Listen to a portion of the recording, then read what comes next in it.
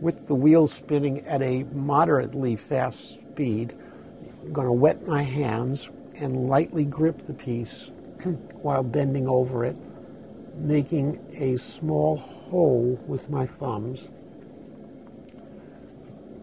filling that with water, and then with both thumbs pressing straight down, leaving a little bit less than a half inch from the bottom.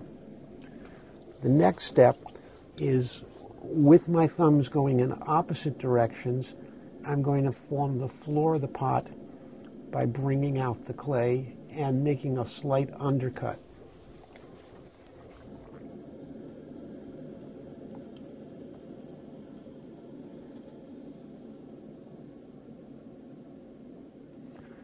So this actually looks like a large donut shape with an undercut on the inside and a nice right angle at the bottom. And from that right angle, I can begin the pulling up operation on the cover jar.